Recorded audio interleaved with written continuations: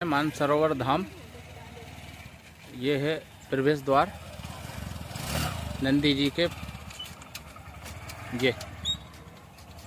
अभी हम पहुँचने वाले हैं। आपको अंदर के दर्शन करवाएँगे। तो गाइस आज हम आ गए हैं मानसरोवर धाम, जहाँ पर 12 ज्योतिषलिंग है। और बेड़ागढ़ और भोपाल से मात्र 15 किलोमीटर दूर है। बहुत ही अच्छा अद्भुत चीज़ें मैं दिखाऊँगा आपको। और आइए मेरे साथ 12 ज्योतिषलिंग के भी दर्शन करवाऊँगा और भी अद्भुत चीज़ों से भी रूबरू करवाऊँगा। तो बने रहिए हमारे ब्लॉग में। तो आइए हम दिखाते हैं आपको। ये अब आ गए हम अंदर।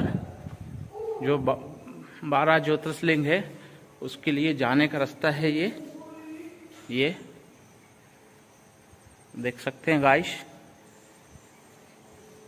आप चारों ओर के धाम यहीं कर लेते हैं, बारह ज्योतिषलिंग के दर्शन हो जाते हैं, बहुत बड़ी बात हो जाती है।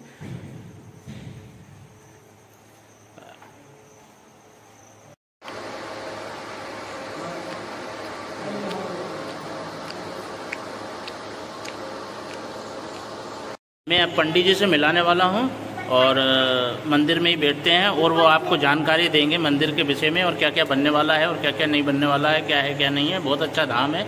मैं आपसे अब आप परिचय करा रहा हूँ। क्या करिए? जी, नमस्कार। मैं पंडित विष्णु शास्त्री, मानसरोवर धाम से पुजारी। यहाँ पे जो अपने तीनों लोक बनने वाले हैं, ये शिवलोक का निर्माण कार्य चल ही रहा है। बाहर जो शिवलिंग और हजारी महाराज विराजमान है, उन हजारी महाराज में छोटी छोटी हज़ारों प्रतिमाएँ अंकित हैं। और यहाँ पे अंदर जो गुफा है, उसमें बारह ज्योतिर्लिंग विराजमान हैं। और ऊपर जो आप मूर्ति देखते हैं शिव की वो शुद्ध पाषाण की मूर्ति है। और यहाँ पे वर्तमान में कार्य चल ही रहा है और बहुत सिद्ध स्थान है। आप लोग आइएगा, दर्शन करिए। यहाँ पर सभी मनोकामनाएँ पूर्ण होती हैं। और दूसरी बात यह है कि निर्माण कार्य तो चल ही रहा है।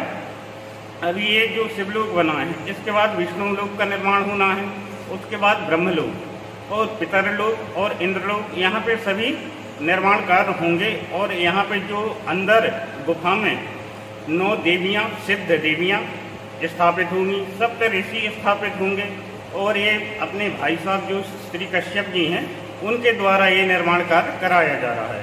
तो आप आइए अपने इष्ट मित्रों के साथ आएँ परिवार के साथ आएँ एवं सभी लोगों को बताएँ ये बहुत ही सिद्ध स्थान है। आप आइएगा बहुत बहुत।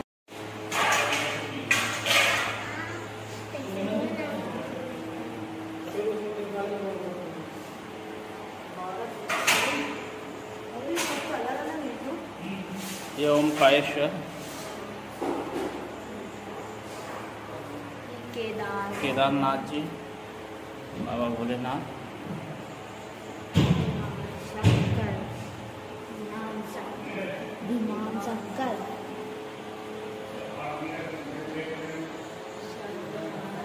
बाबा सर्वनाथ बाबा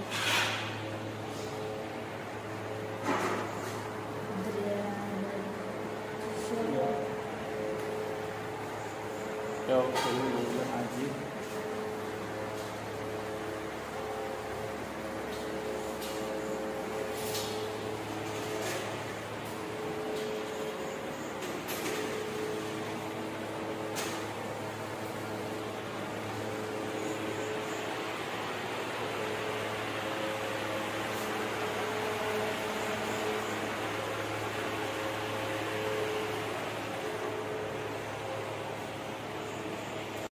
ये है शंख, और ये है नंदी जी, और ये भोले बाबा का डमरू। और अब आपको मैं दिखा रहा हूँ, अभी तो निर्माण हो रहा है लगभग लगभग मंदिर का अभी। ये अपने भोलेनाथ जी विराजमान है कैलाश पर्वत पे, और दूसरे नीचे ज्योतिषलिंग है। तो अभी ये गुफा के अपन अंदर जाना है, इसके अंदर ही है मंदिर का द्वार। ये नंदी महाराज तो गाइस हम जा रहे हैं एक हज़ार एक सौ आठ के दर्शन करवाएँगे महालिंग ज्योतिल सिंह तो आइए बने रहिए हमारे साथ।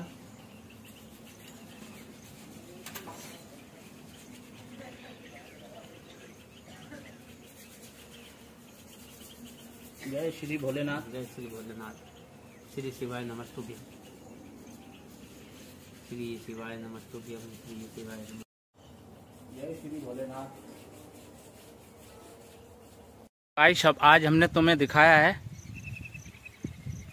बारह ज्योतिषलिंग, और सामने का भी मैं दिखाता हूँ आपको जो सामने का जो मंदिर की प्रतिमाएँ हैं और सारी चीज़ें हैं, बहुत ही अद्भुत लगता है, और दिखाता हूँ मैं आपको।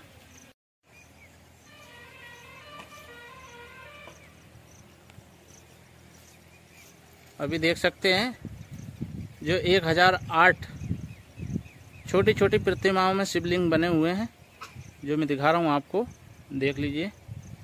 लिंग बने हुए हैं। अभी देख देख सकते हैं आप, बहुत शानदार। लोग दर्शन करने भी आते ही हैं। दूसरे भी बने हुए हैं। ये कुदरती पत्तों के, बेल के शिवलिंग बने हुए हैं।